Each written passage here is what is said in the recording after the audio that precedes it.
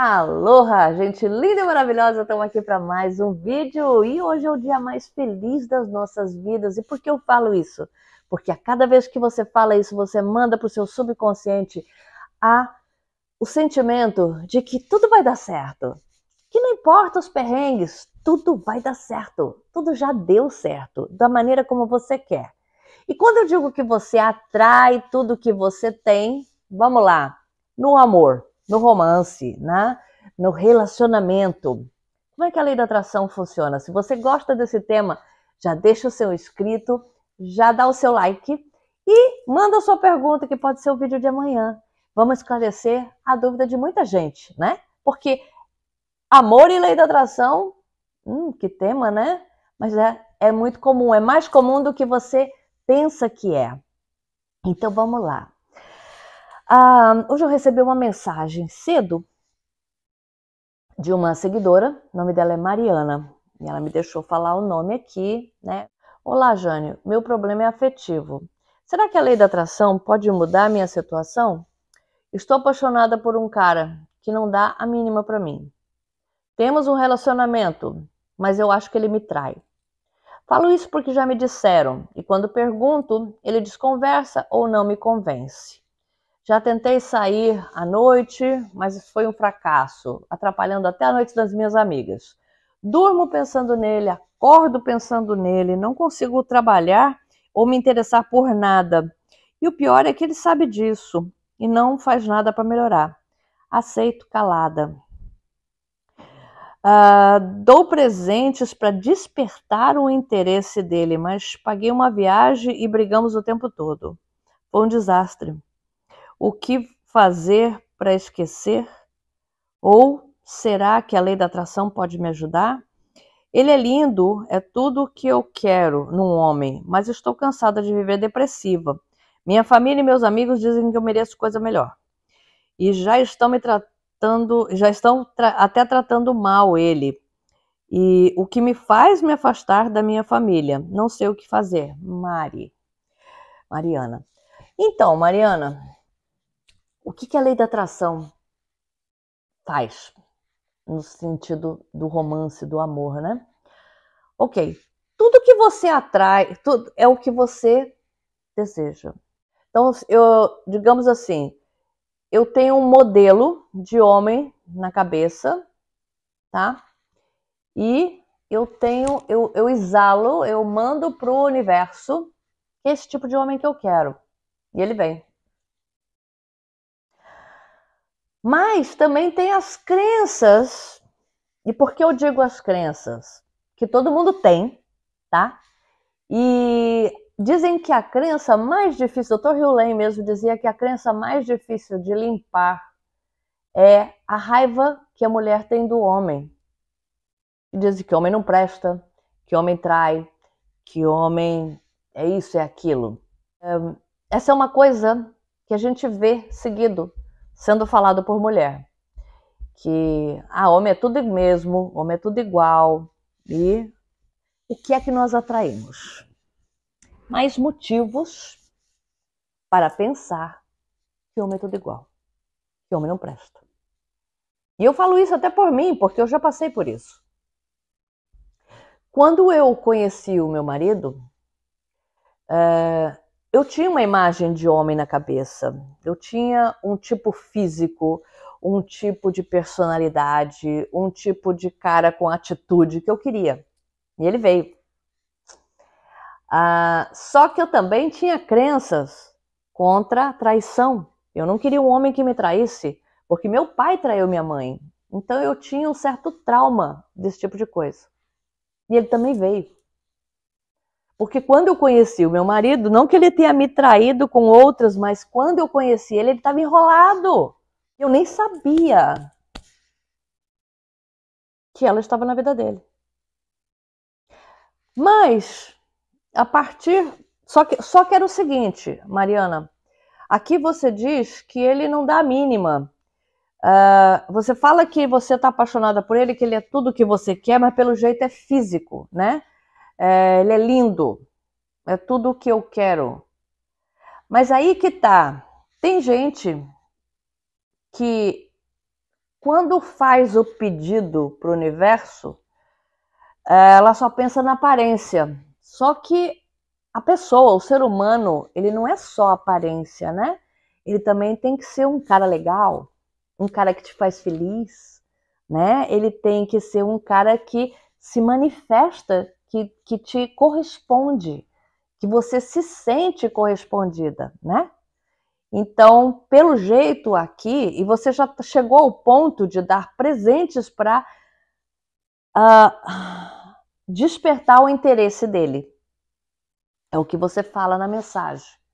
Então, aí, a sua autoestima é que está muito baixa. Porque o, o amor de, ideal, o cara legal, ele não te faz sofrer. Ele não te, não, não te despreza ele não te, sabe, é, ele não abusa, né, das coisas que você faz por ele. O cara ideal ele faz por você também. Ele te faz o, o certo é você, ele fazer você se sentir amada também, né? Não só você fazer as coisas por ele, porque é, eu cresci num modelo tipo, lembra das revistinhas que tinham os romances, que comprava até em banca de, de, de banca de revista, é, nos anos 70 e 80, eram muito famosos, Júlia, Sabrina, eu lia muito disso. E eu fiz aquele, aquele, aquele tipo, tipão do cara, daquelas revistas, né? Então eu queria um cara que me seduzisse, que, sabe, mas que ao mesmo tempo fosse carinhoso, fosse gostoso, fosse aquele cara que tem a pegada, né? Mas que me tratasse bem, que me que me seduzisse, entende? Uh, mas que eu me sentisse amada. Que nem aqueles, aqueles romances. Eu tinha isso. E eu casei antes de encontrar ele. E a pessoa era morna. Era, acabou justamente porque eu perdi o interesse porque a pessoa era morna, era. Ah, né? Mas, tudo bem. Não era o tipo que me seduziu. Então, separou, acabou. E muito disso, até aparecer a pessoa certa, tem esses, esses altos e baixos. Pessoas que entram na vida da gente, que saem, e que não era para ficar, não era para ser. Meu pai tinha traído a minha mãe e eu tinha, morria de medo de pegar um cara que me traísse. Eu tinha essa crença de que eu não queria um homem para ser meu marido, não podia ser traidor. Tá?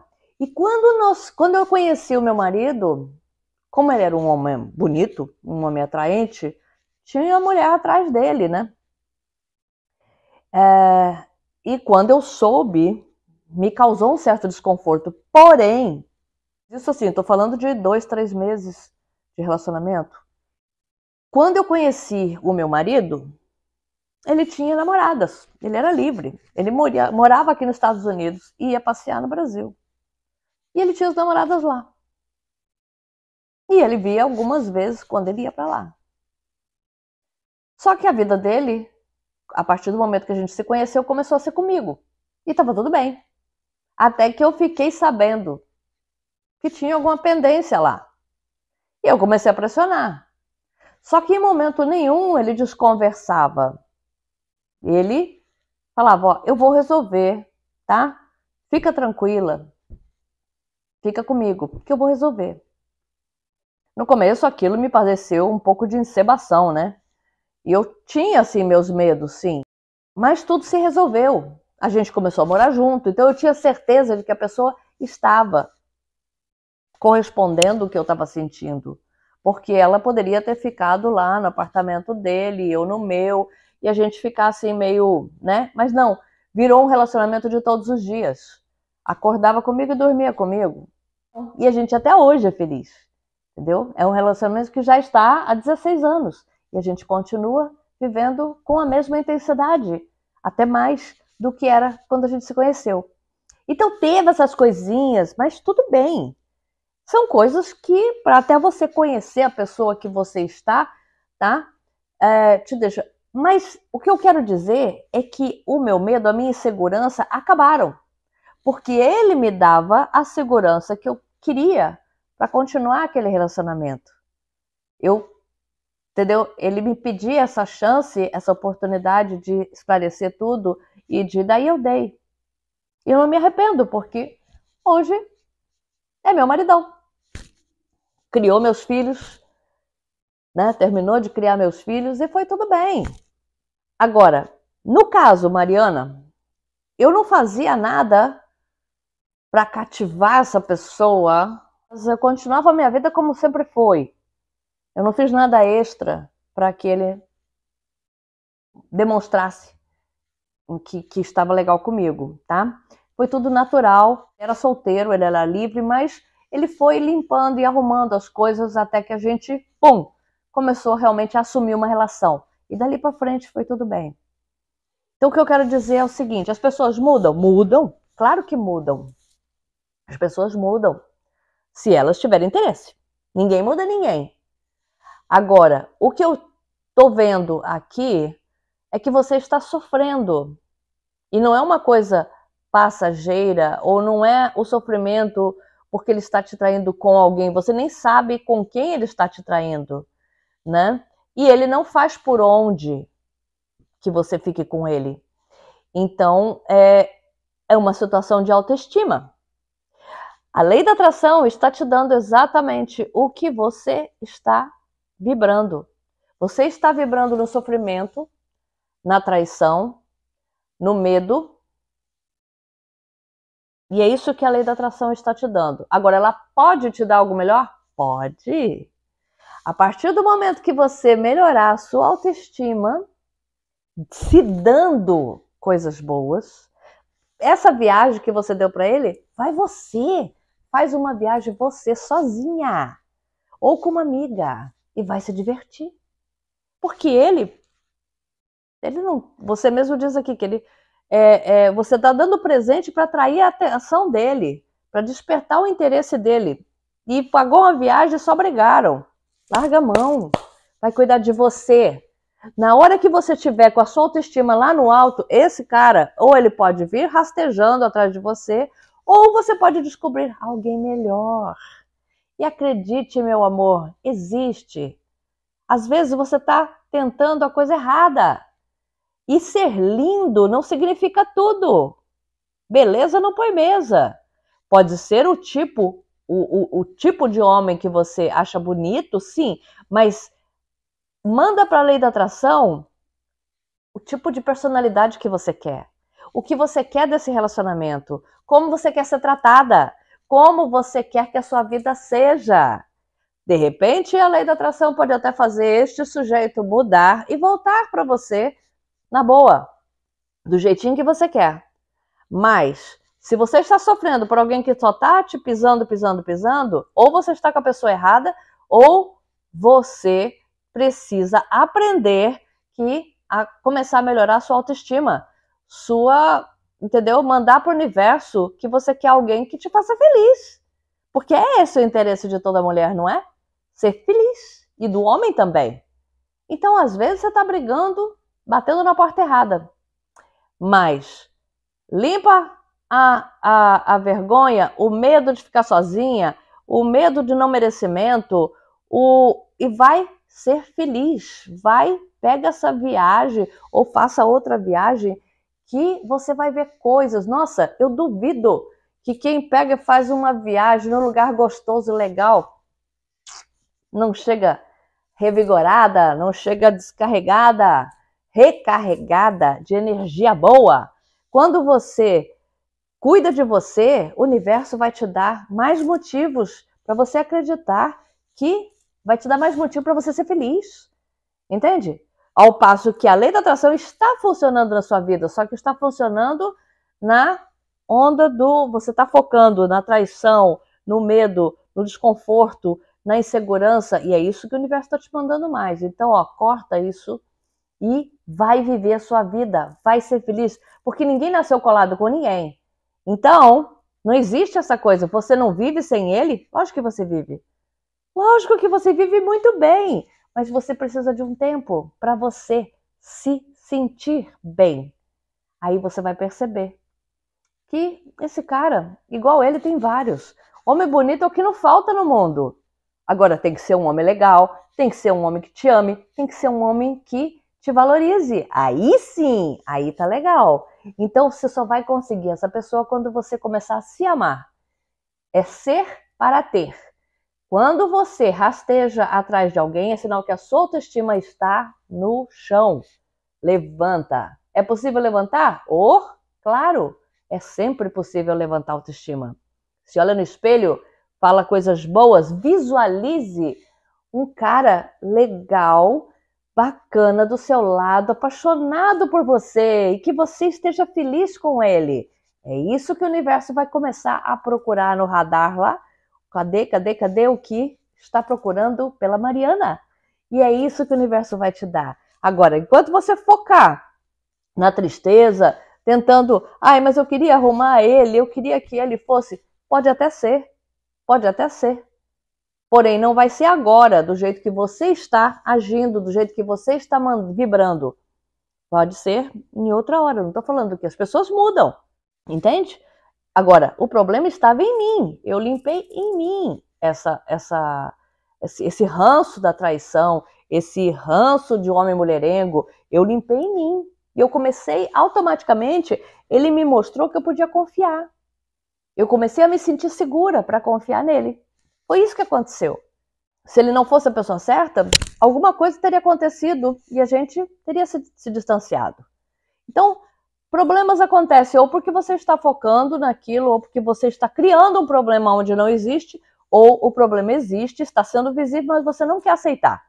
Então, começa pela sua autoestima, começa Ho'oponopono, limpando, limpando, limpando todas as crenças, tá?